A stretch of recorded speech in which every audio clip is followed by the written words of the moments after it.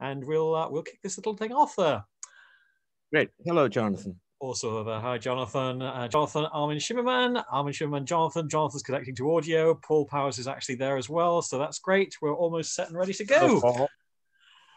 Excellent. Okay. Well, the time has arrived where we can welcome back for his second visit to the Midweek Drive because his first one was frankly so awesome. There's just so much joy and happiness to be packed into this. The scholar, of course, who is responsible for uh, Dr. John Dee, variety of other sort of packages as well. He is, in fact, the man who is behind the Trek Against Trump campaign. campaign. We didn't even work through that last time, but what success that was. We say welcome once again, Armin Shimerman. How are you, Armin?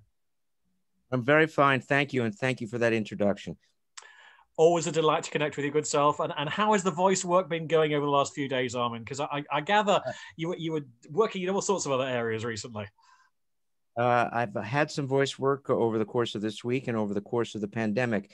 Actually, it's the only part of our industry that seems to be thriving. Everything else is uh, jumps and, and stops uh, depending on who gets sick on the set and that sort of thing. So voiceover work, you go into a, a booth by yourself, you get direction over your, your headphones, and uh, hopefully you give them the product that they want. Well, and, and I know, Armin, you being the consummate professional, you'll do that in every way, shape, or form. So that, that's always critical from that perspective.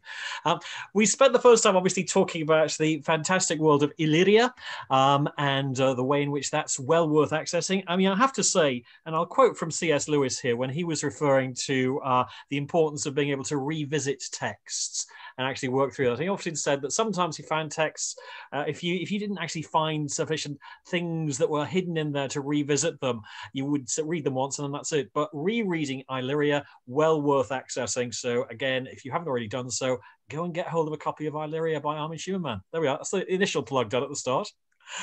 Please, Which is and with my American accent, I'm going to call it Illyria.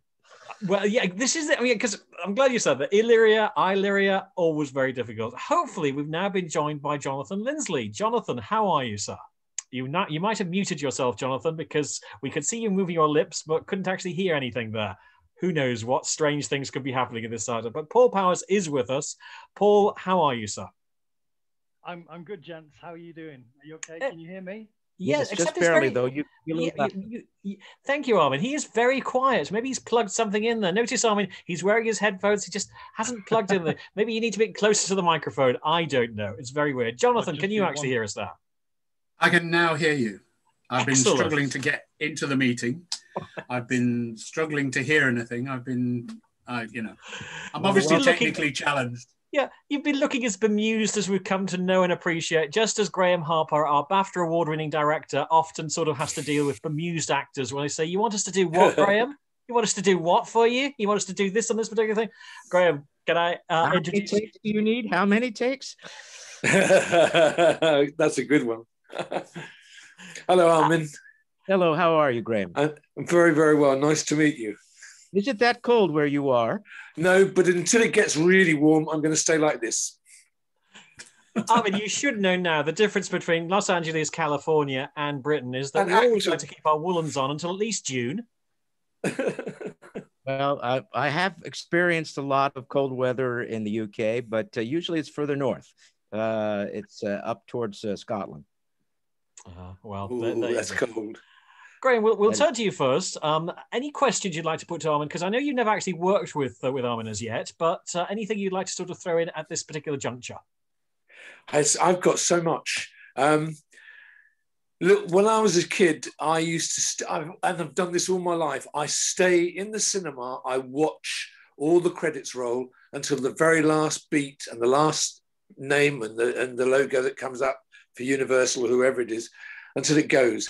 Uh, and one of the characters that I remember as a young kid, um, and to this day, because I saw you in an interview talking about, uh, uh, well, not Bud Westmore, but Bud Westmore was a very famous makeup artist. And then you suddenly, I started uh, working with a, a, guy, I think I'm just looking at his name, uh, Mark, was it?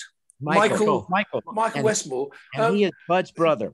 It's extraordinary. Well, I mean, that's that's history. That's that's royalty. That's extraordinary. It is indeed royalty on the on the lot of Universal here in Los Angeles.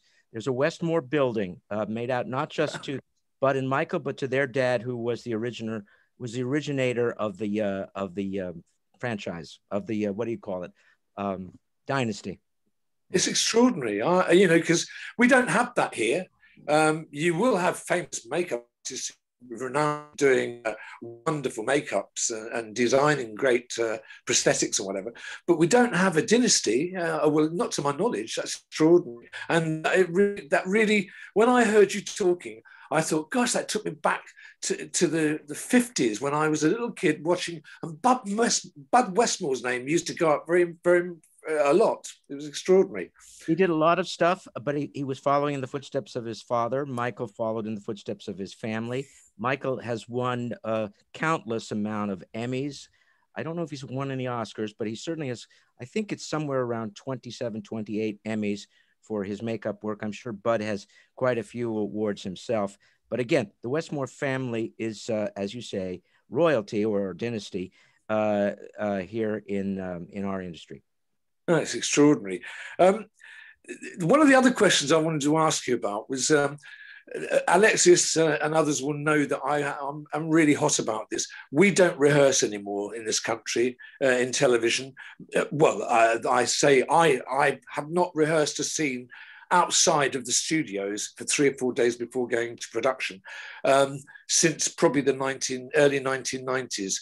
Um, that was all cut out, save money. Um, the directors and the actors get together for five minutes before we do a scene because we work to a really tight budget in this country. And um, we're supposed to put it all together, um, each scene, and show the crew. And then we get on with shooting it. And an hour and a half later, we've got a scene. Um, how do you feel about that? I don't like it uh, because I come from the theater where we get uh, uh, a month, maybe six weeks to rehearse. So I, I, don't like it. It's one of the reasons I in my later years, if I can call them those, uh, have gone back to the theater as opposed to doing a lot of TV.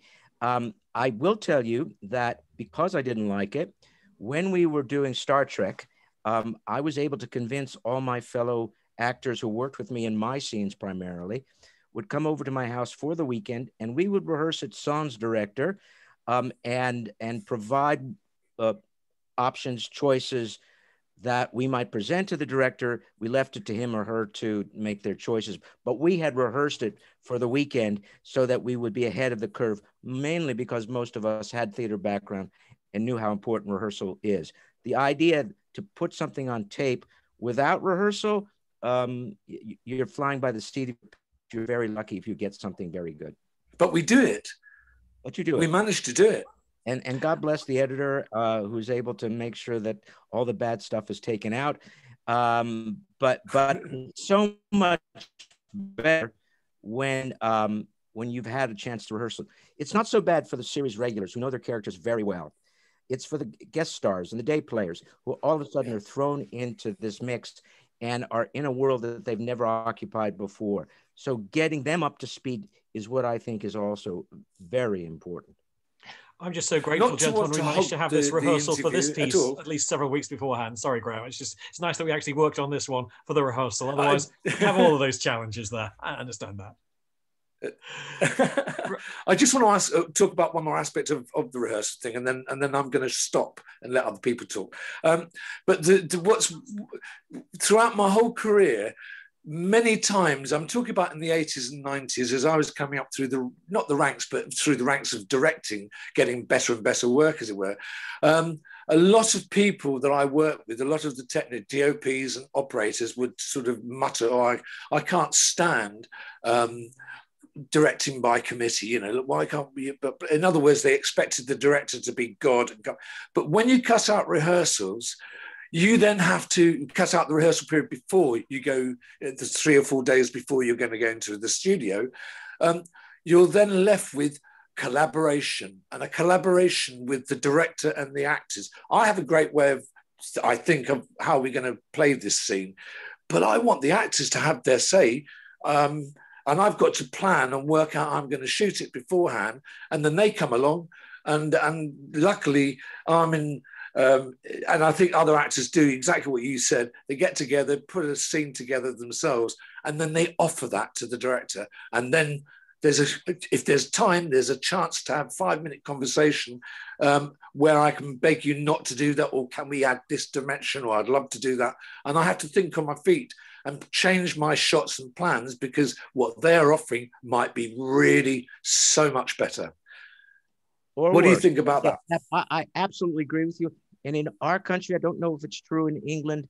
Um, uh, I don't think it's as bad in England as it is in, in the United States. But oftentimes, when you're shooting a television show, the the cast, the main cast, has done it many times. The crew has done it many times. The director of photography is a mainstay. He's always there. But the director is a guest. And he's working with people that he hasn't worked with before or she hasn't worked with before.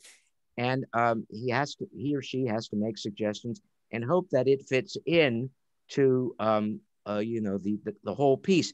And of course, as you must know, Graeme, before you ever set foot onto, onto the stage, you have to have a long uh, discussion with the producers and the writers in order to get the tone of what they want from the show. And you have to do your homework and watch a number of the shows, including the pilot, to know exactly what the tone of the show is.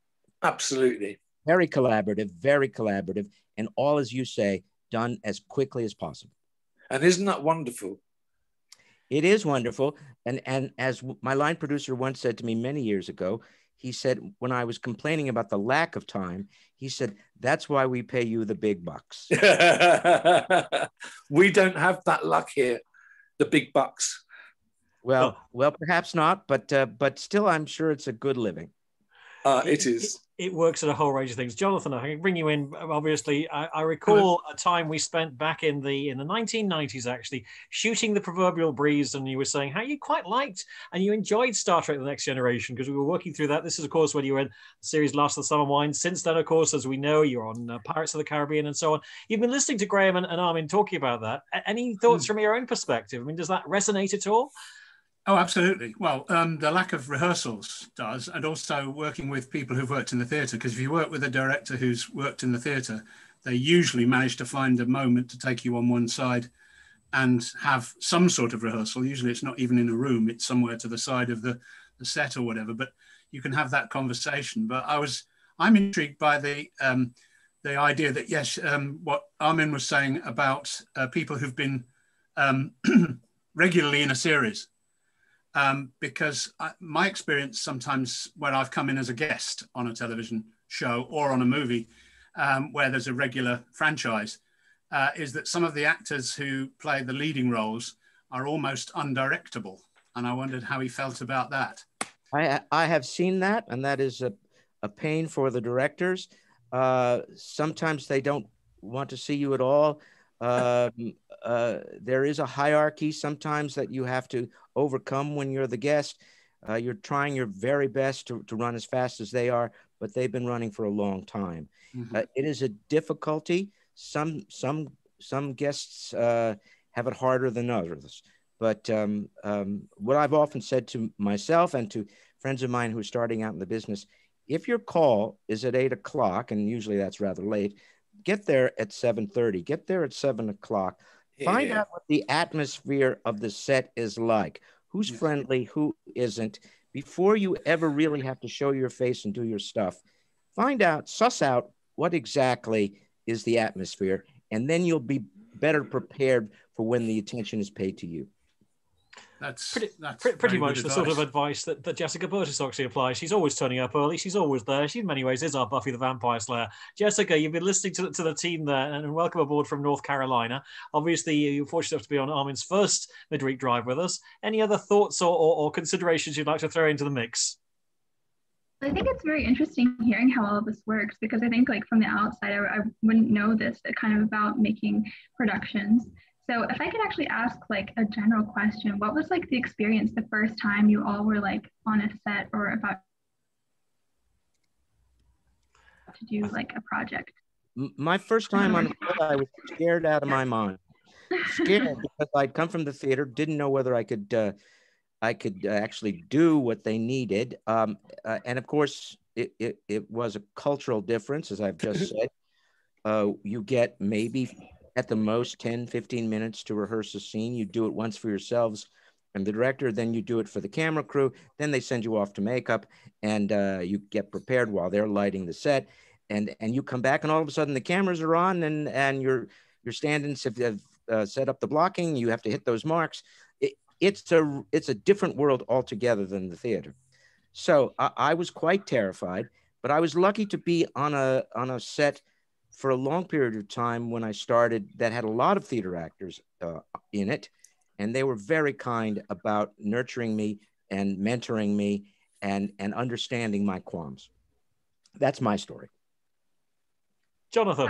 Oh well, um, yes. I, I, I, suppose I was lucky actually because um, my very first uh, television uh, on a, on a set, um, I a, had rehearsals because in those days the BBC had rehearsal rooms at Acton, and you spent a week in a rehearsal room with bits of wood and stuff that represented the set and and the director. So i had proper rehearsals um, my very first time but and also i was doing live television um, in the sense of going out in front of a live audience. So it was much more like a theatre event. Um, so i stood on uh, on my first set as a as a as a television actor and and it felt like waiting backstage in a theatre. So you walked out and and suddenly switched it on, as it were.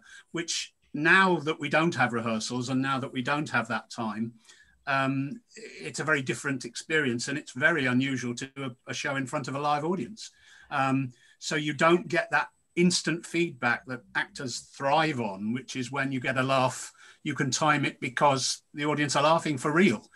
And if it's dubbed on laughter, you don't get that same feeling at all. So it's a, I think the world has changed so much now um, for all performers. But of course, young people, they've never experienced what I experienced at the beginning, which is what Graeme was talking about, which is, you know, it gradually disappeared in the 90s, didn't it? That, that whole being yeah. able to rehearse and, and all that kind of stuff. So I would say my experience, my story is that I feel lucky that I learnt the business of television acting through theatre, basically, which was, yeah. you know, which is what Armin was saying is, is very useful. And I'm intrigued, Jonathan. You said bits of wood representing the director. Is that some sort of comment about directors who yes. Yeah. That's yeah, well, well. It, yes. The bits of the bits of wood, I think, were um, they used to put doors in a door frame, yeah. but no wall. So you'd open a door, but there was no. It was pointless. I mean, kind you know, metaphorical and, character, which is good. Well, yes. you pretended to open the door. Yeah, yes, it was yeah. posts. You could have pretended. We could have mimed the door. Do you know what I mean? It would have. Um, but yeah. they used to do this kind of build the set around, and it was just um, nominal things like a table would be there in case, and then they'd say this won't be the table on the day. But this is a table that represents a table. So just in case you can't imagine a table, it's here you know, that kind of stuff. But um, it was useful. I mean, you know, like rehearsal props, basically. Were you given props, Jonathan? Were, were you given props or did you have to mime the props? Uh, we were given some props if they were really important. Obviously, um, I did, uh, when you, the way they worked it on the, um, on the, on the show that I was working on, uh, which was a comedy show, um, the filming was done uh, on location and so we had real props and and really no rehearsals. So if you were driving a car you were really in a car or if you know that sort of but um, and then all the interiors were done in studio in london um, six five to six months later after the filming. Um, so that's how it it was a, it was a very strange experience. I mean i i just assumed that that was the way everything was done but of course when i worked on other things i found it wasn't. So it was different in drama which i think uh, graeme will tell you. It's it's a very different experience from being on situation comedy. Uh, yeah. And was was that last of the summer wine, Jonathan, just to kind of make sure we're, we're on it, the same thing, or was that was it, it a different was, series? It, well, well, it was it, yes, it was last of the summer wine. The, the the first that was the first series I did. Um, I actually appeared in something called the Hello Goodbye Man with David Nobbs before that, which was my very first television. But it was the same experience. I mean, the, exactly the same style blocks of, of wood. Um, yes, blocks of wood, rehearsals at Acton, that kind of stuff. Yeah. Graeme, you started as a child actor, and I know we, have talked about the importance of actually having an experience. Can you can you cast your mind back? I know we've done this for our weekly show, Sound and Director's Vision, but uh, just share with it for the benefit of Paul Powers, who hopefully has sorted out his microphone. We'll be with him in a few seconds. Go for it, Graeme. Um, yeah, I started um, uh, as a, a nine-year-old uh, going to drama school uh, as a kid to learn how to speak proper, like what my mother did. Um, and she she wanted me to have uh, she didn't want me to be an actor she wanted me to have voice production so eventually um, things progressed and i rather liked the idea of going to drama school gosh it was much happier than going to an ordinary school um, and i had a lot of laughs but i also worked a lot. I was never a child star. I was always a support of some sort, but I got a lot of work as a child up to the age of 16. And then it kind of eased off a bit. Um, and so I did all sorts of other things, nothing to do with um, theatre or film. The odd job came along, etc. I had to survive, like most acting students. Um, and then eventually I changed and went into production. Um, I don't really remember the fear and nerve of um, my first studio days, for example, or the first time in the theatre, other than I was terrified of the theatre and loved film and television. Um, but the theatre is a necessary evil to an actor, and also a true actor, which I probably wasn't, really, really wants to get out there and play from the beginning to the end a drama. Um, that, that's the love of an actor, as far as I can see, and I believe in that. Um, but I, I, because in television in the 50s, that was the late 50s, there was rehearsal. So by the time you got into the studio as a young kid, I was in awe of everybody and looked around, um, loving every moment of being in this environment. But I don't remember, well, it was live television too. I remember being terrified of live television, but I really enjoyed it. And by the time I got into television as a, a, a young a, a, young man, um, as an actor, I didn't have the fear. We had rehearsals, so it was fine. Gradually, when I went into production, um, I began to see that demise really of, of, the rehearsal period, which I always felt was the most important. So I'm waffling on, but um, um, I, I I, I yearn for rehearsals. Yearning for rehearsals. Paul Powers, as an academic at the uh, at uh, uh, the, the, the, Joys of Anglia Ruskin, as somebody who's actually coordinated a Star Trek exhibition. Tragically, didn't feature Armin Shimerman invited over to Blackpool. Otherwise, it would have still been running, I'm sure, to this very oh, day. absolutely. But. Paul, what, what thoughts or questions have you got? And hopefully, your microphone is now working. Yeah, can you hear me now, guys? Oh, I can am hear I, you, Paul. Hello, Paul. How are you doing? Um, it's I, I, just want to say what an honor it is to be here with so many wonderful people. Um, and, cool. and you, each of your stories have just been fascinating. and I'm really grateful for that.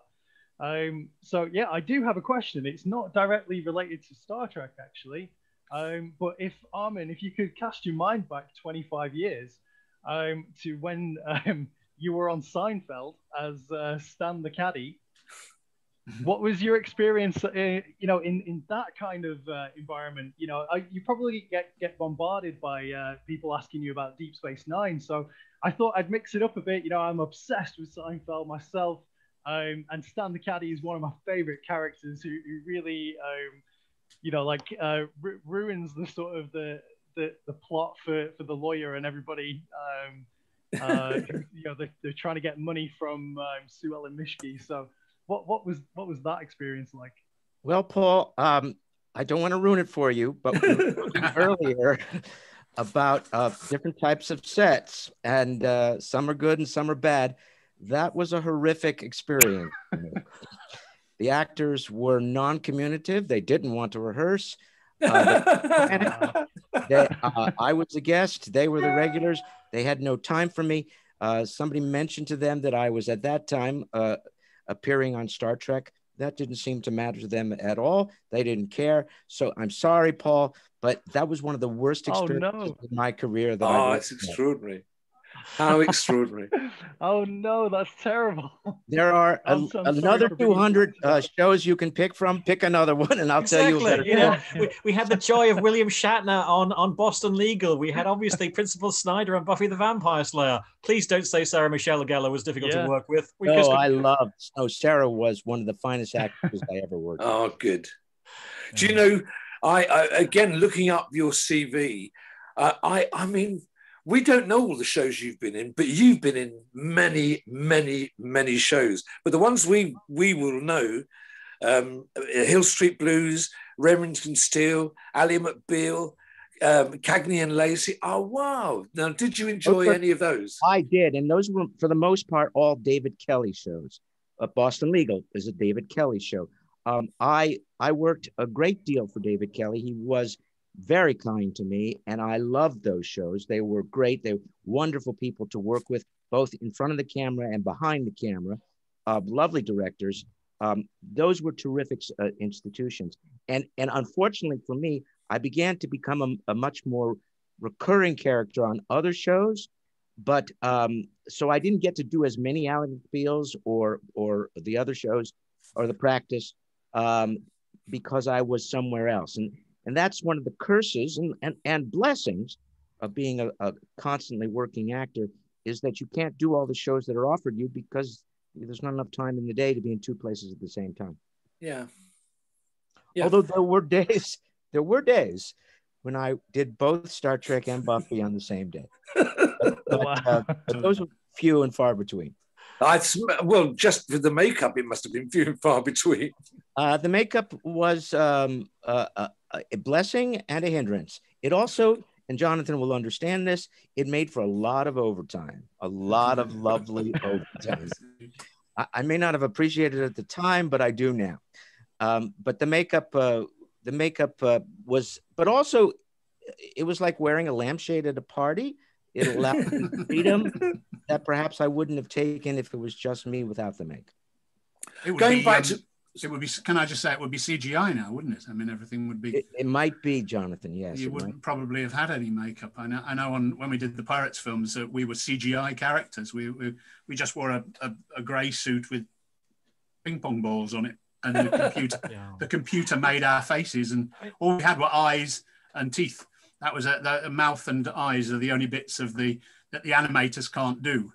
So um, yeah, probably at, at the same you time, you would have got less overtime now. yeah, Quark or indeed Principal Snyder just wearing a grey suit with ping pong balls. It's not quite the same thing, really. it wouldn't have worked, would it? No.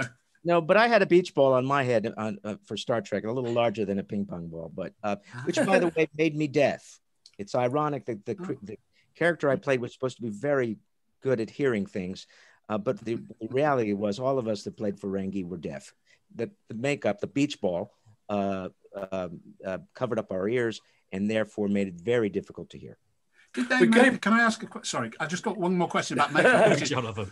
When, when, when they made um, when they made your did you have a, a, set set of prosthetics or did they make them new each time? Uh, yes and no. The there were two parts to my makeup. Uh, one I always call the helmet, and mm-hmm. that we reused weeks for weeks and, right. and it was cleaned, but but we re, we reused that. The face mask that that uh, covered nose and, and cheeks, um, that was made new every day. Right. Sorry, um, I was just interested.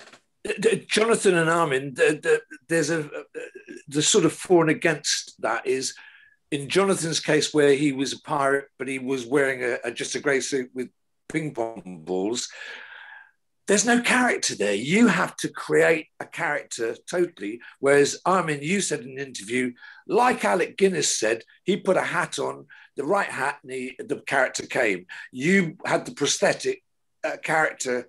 You, the character starts to form. You began to live and become a character. Jonathan, you you had didn't have that luxury. What what they did with us um, to help the other actors who were humans uh, working with the monsters, as it were, um, or the, the aliens, um, was that um, they stuck a picture on our chest of the character. so that so that Johnny uh, Depp or whoever it was you were fighting at the time could tell what you looked like or what you were going to look like. Because obviously they, they were fighting a bloke in what looked like a ski suit. So, um, and um, uh, Orlando Bloom said to me afterwards, he said, um, if when we'd had our sword fight, he said, if, if I'd seen a bigger picture of you um, looking like you really look, I think I might have acted a bit more scared because I wasn't scary, if you see what I mean. And that it was actually more helpful. I mean, you don't know what you're looking like, so you kind of get an idea because they show you a sketch. But um, I, um, I don't suppose I'm an experienced that. And also, there is a thing, isn't there, where you sit in front of a mirror and your character is built on your face, which actually makes you become that character to a certain extent. Did you feel that, Armin? No, about to say, but that's absolutely true. I didn't clear off it. You sort of left or I lost you somewhere. Yeah, I think. I think I think you're okay. Armin. Hopefully, we're connected. Um, but certainly, sitting yes. in front of the mirror. Uh, but certainly, sitting in front of the mirror was always inspiration. The moment uh, the two people connected on my head, the ask, I I was reminded, inspired, if you will, uh, of who my character was, mm-hmm. and um, and I I soon realized I didn't have to act the alien. The makeup did all that that work for me, but it was an inspiration to see that in the mirror. Yes. You talked also in an interview about um, uh, a, a, director, I believe, called Joss. Joss Whedon, not a director. Jo- he was a, re- a, director, but he was primarily a producer and a writer. You you said something really unusual and very very nice, and that was his in his relationship with all the actors on the set. Um, you could see that he was also learning something. He was learning how to deal with things, and I I found that that's collaboration again. And I found that a really charming thing for you to say about a director or a producer, in that case, a writer producer. Um, but what exactly did you mean by he seemed to learn and grow from that? In what, in what way? What, what, what exactly? Well, he later became a huge director for the Marvel films. But when I was working with him, Buffy, um, he was primarily a writer and, and creator had skills. He had none of your skills, Graeme, about directing or working with you know with with the actors personally, and and he learned. He he sat there, watched what the directors were doing, watched what all the crew people were doing, learn how to you know to do their jobs to some extent, and and and it inspired him to do exactly what you did, Graeme, was to go from from one occupation to another, um, and he became not he continued to be a great great writer also a very uh, well uh, a desirable director. As i said he's done a number of the marvel movies where he's directed those. Um, i i liked him a great deal. Um, recently there's been some chat about uh, about how he related with some of the actresses on the on the set. I never saw any of that but uh, i only knew him to be kind supportive, uh, very shy, but also very funny. Much like Jonathan's experience of Johnny Depp, I believe, actually, in, in light of sort of recent scenarios. You never had any problems with Sir Depp, did you, Jonathan? No, I mean, again, he was he was very shy. I mean, he was. Um, I think I mentioned last time I was on this show. Um, um, when you work with somebody who's a, a, a, movie star, they have this thing that they can switch on um, and give a performance that that isn't doesn't appear to be there before like five minutes before in fact uh, johnny was almost invisible on the set until he became jack sparrow and then he switched something on and then he became this amazing character and um, and my experience of working with particularly great movie stars is that, that that happens if you see what i mean they have a they have an ability to switch something on i don't know what it is but uh, I've never had that. I, I, I have to try really hard all the time. I think not. Certainly, uh, Jonathan, when you've appeared on stage, the moment before you're on stage, you are Jonathan. And then the moment you step on stage, you're Macbeth. You're yes, absolutely. No, that's true. That's very true. Yes.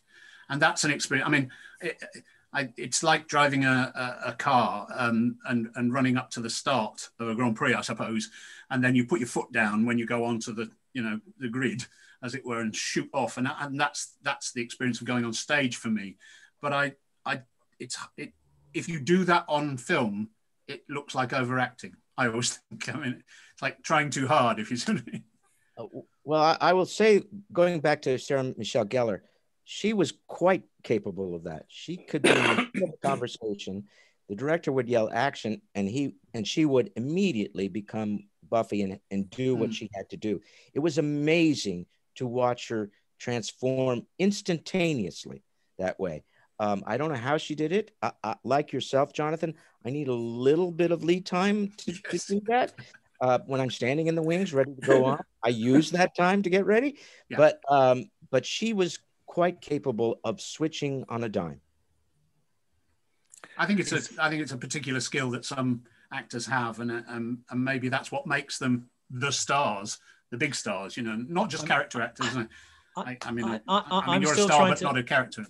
I'm still trying, Jonathan, to get my notional head around this sign of how Seinfeld could have been improved if they'd only actually had photographs of what they were supposed to be scared of on, on, on, the sort of guest sort of star's chest. You know, could have actually. I'm not so sure the actors on on Seinfeld would have seen those pictures, even if it was right in front of them.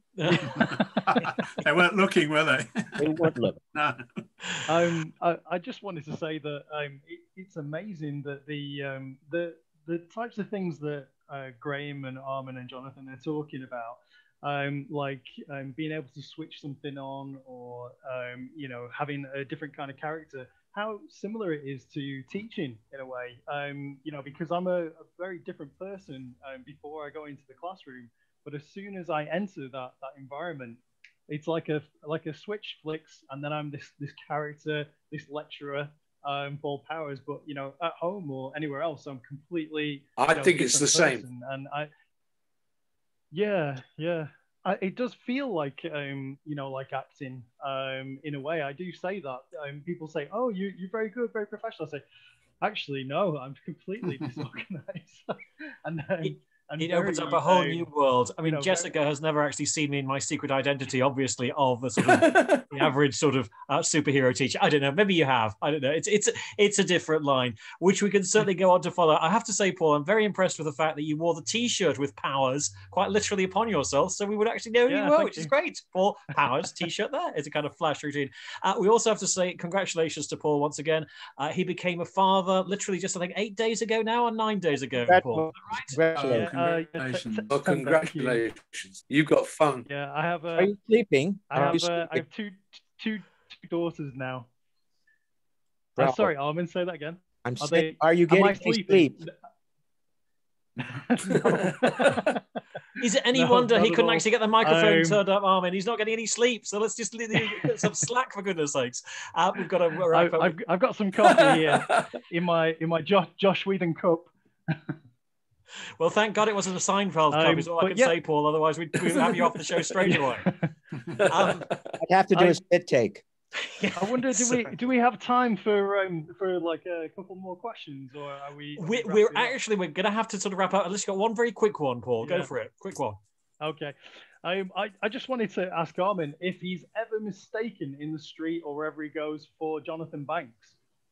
Does he, do you know who Jonathan Banks I is? I certainly do know Jonathan Banks. Bad? Yeah. Uh, I I have never worked with him, but when we were young men, uh, we were both involved with a small theater here in Los Angeles, um, and I I watched him rehearse. He didn't know I was watching him rehearse. I was quite taken with him. He's a very fine actor. Very fine actor. I um, think you been... could do uh, like a twin sequel with the the two of you together. Uh, I suppose I suppose we could. Yes, there is a similarity, but but over the course of my career, I've seen a lot of actors who look a lot more like me than I do Jonathan Banks. Yeah. I mean, it's been awesome connecting with you, good self, once again. Uh, next week, actually, Graeme's going to be joining us on a call to uh, Patricia Tallman in Hawaii, where she's currently sort of heading wow. off to from that point of view. Obviously, we thank Patricia for, for, connecting you with us in the first place. Have you had a reasonably interesting Zoomer this time around? Has it been good for you, Armin Shimerman? Yes, it has. And please give my love to Pat, uh, who is responsible for my being here today and also a, a lovely, lovely actress. Uh, she worked on Star Trek, and my wife worked on Babylon Five, and and we and our paths have crossed many, many, many times. Absolutely. So, will you return to another midweek drive, Armin? Can you come back and probably deal with those questions Paul is still keen to ask? uh, yes, uh, uh, certainly. And let's do it before his daughters get too old. Jonathan, has it been good for you? It's been great, and it's been fantastic to meet Graeme again, to see and Jess you, again, Jonathan. to see uh, Paul again, and and and to meet Armin. So it's been fantastic. Thank you very much indeed for inviting me. Excellent. Thanks to you, good self. Graeme, of course, uh, as ever, a regular. Uh, good time. Yeah, absolutely smashing. Excellent. Nice to meet you all. It's lovely back again in a few moments, actually, with yourself and Jessica. Paul, take care, keep on keeping on. Thank and we you. say, if you haven't got a hold of Armin Shimerman's latest book, get it now. It's Illyria, well worth accessing. Awesome tale of John Dee. Armin Shimerman, Paul Powers, Jessica Burtis, Graeme Harper, Jonathan Linsley. We salute you. Take care now.